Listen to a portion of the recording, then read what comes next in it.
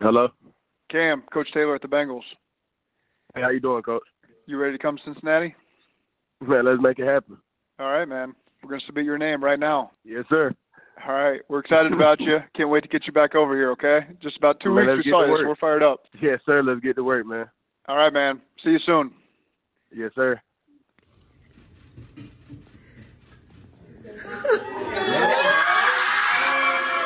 Excited?